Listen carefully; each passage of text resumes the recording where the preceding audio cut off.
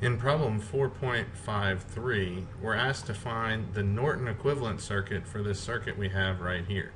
We have a dependent voltage source which gives off the voltage 2VO, where VO is the voltage as measured across this 10 ohm resistor. We've got a 20 ohm resistor here, we've got a 3 amp current source, and we're asked to find the Norton equivalent relative to terminals A and B. We can do this in two steps. The first step is to find the Norton equivalent current, and then the next step will be to find the Norton equivalent resistance. So let's go ahead and remind ourselves the definition of the Norton equivalent current is that it is equal to the short circuit current. And so here we have a short that I've added to the circuit, a short between A and B and we're asked to find what is the current that would flow through here if we were to short those two terminals.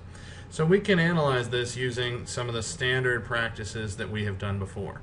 We can redraw this circuit by simply moving the 3 amp current source up above. That makes it a little bit more obvious that we really just have two meshes. There's nothing different in what we have here versus what was down below. But now we see that we have a two mesh circuit. The top mesh current is obviously 3 amps. And then down here, we're just going to call this the IN mesh. And so we'll solve for this Norton circuit's current, the Norton current right there, as the mesh current in this bottom mesh. So if we go around and develop our equation at the bottom mesh, we have negative 2VO plus 20 ohms times IN plus 10 ohms times IN minus 3 amps. So IN is in the direction, 3 amps is opposing it, and that equals 0 volts.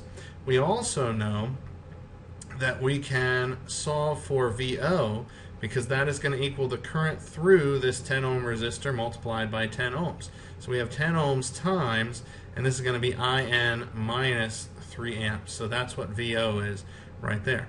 And we can substitute that back in to our equation that we have just developed. So everywhere I see VO, which is just right here, I'm going to plug in 10 ohms times IN minus 3 amps. So I've got negative 2 times that quantity plus what we already had before over here. And so now if we go ahead and distribute the negative 2, go ahead and distribute the 10 ohms across here, we get negative 20 ohms IN plus 60 volts plus 20 ohms IN plus 10 ohms IN minus 30 volts. We went ahead and distributed this 10 ohms across here equals 0 volts. And so we end up with 30 volts plus 10 ohms IN equals 0 volts. And so therefore IN equals negative 30 volts divided by 10 ohms or negative 3 amps. So now we have our Norton equivalent current. And so that would be 3 amps uh, pointing downward if you were to draw it in the standard um, orientation or just negative 3 amps pointing upward in the Norton equivalent.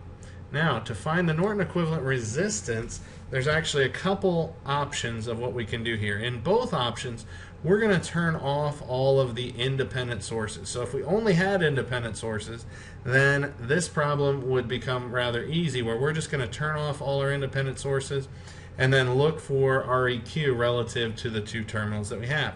Because we have a dependent source, we can't just do that. So we're going to start by turning off our independent sources, but we're going to leave in our dependent source, and we're going to apply a test source. Now, we can either apply a test voltage and then solve for the current through it, or we can apply a test current source and solve for the voltage across it. So in this case, we've got this mesh here. We've gone ahead and taken out, turned off our independent current source.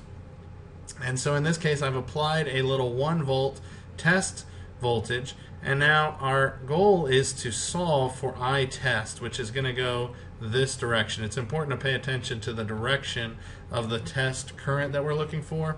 And our Norton equivalent resistance is going to equal the voltage of the test voltage, which we just made 1 volt, divided by the current of the test source. So the current that would flow through that test source in the direction indicated. So we can go ahead and do some mesh analysis here. We'll call this the IT or iTest um, mesh. And so if we're solving for that, we'll end up with a negative 1 volt plus 10 ohms times IT plus 20 ohms times IT plus 2 V naught equals 0 volts. And if we look here for V naught, it's going to actually equal 10 ohms times negative IT. So if IT had gone clockwise, it would have just been 10 ohms times IT. But you notice the positive is here, the negative is on the right hand side, and so IT is going backwards through that. So we need 10 ohms times negative IT.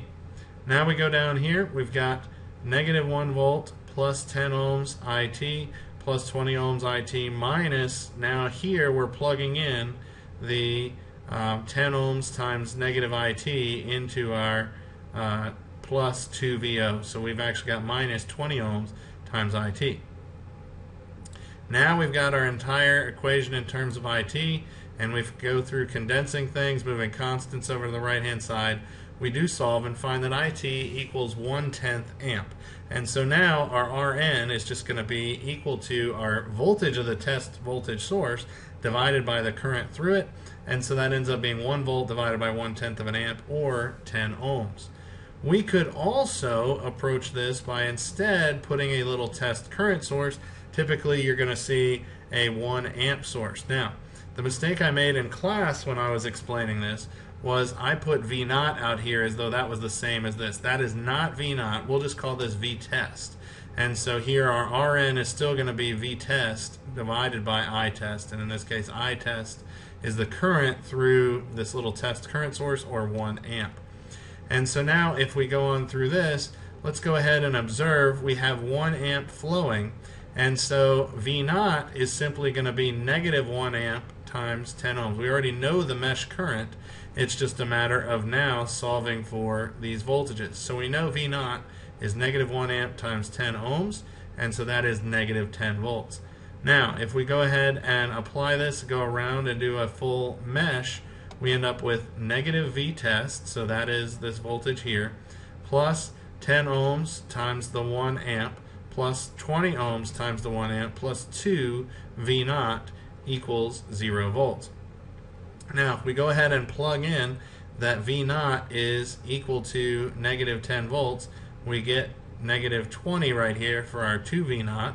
We can go ahead and multiply through 10 ohms times 1 amp and get uh, 10 volts here, 20 ohms times 1 amp, that gives us another 20. So 10 plus 20 gives us the 30 volts, and we've still got a minus V test.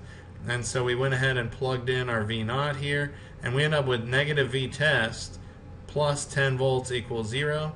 So V test actually equals 10 volts. So now if we plug in Rn equals 10 volts divided by our 1 amp test current, we still get that Rn equals 10 ohms. So we get the same resistance no matter whether we apply a test voltage or we apply a test current. We get 10 ohms in both cases.